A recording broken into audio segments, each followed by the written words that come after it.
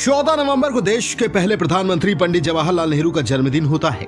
नेहरू जी को बच्चों से बहुत प्यार था और उनके जन्मदिन के दिन ही बाल दिवस मनाया जाता है। चौदह नवंबर को बाल दिवस स्कूलों में मनाया जाता है और बहुत से लोग अपने घर के बच्चों के साथ भी ये दिन सेलिब्रेट करते हैं। फ़िल्में समाज का आईना होती है और चिल्ड्रंस डे वाले दिन आपको बच्चों को बॉलीवुड की पाँच फ़िल्मों को ज़रूर दिखाना चाहिए। इन फ़िल्मों को देखकर उन्हें काफ़ी अच्छी सीख मिलेगी। इस कहानी में पहला नाम है तारे ज़मीन पर। यह एक ऐसी फ़िल्म है जिसे हर माता पिता को अपने बच्चे के साथ देखना चाहिए।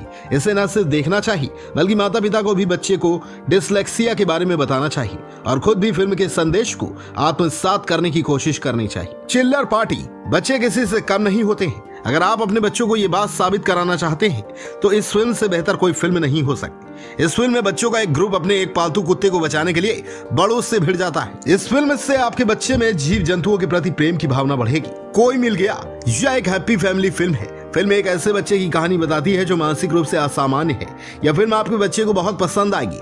साथ ही एलियन का रोमांच उसे फ़िल्म के बीच से उठने नहीं देगा। I am Kalam. यह एक ऐसी फ़िल्म है जिसे हर बच्चे और उनके माता पिता को देखना चाहिए। एक ऐसी कहानी, जो न केवल आपके बच्चे को किसी भी स्थिति से निपटना सिखाएगी, बल्कि उसे ईमानदारी का मूल्य समझने में भी मदद करेगी।